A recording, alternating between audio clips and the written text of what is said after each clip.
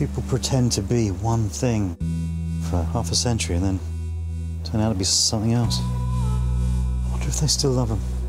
I know nothing about what happened to this young man. I want to find who took his life, and I want to punish them. 39 years later. Oh, my darling, no, no, please. We need more. We need much, much more. New six part drama, Unforgotten, starts tonight at 9 on ITV.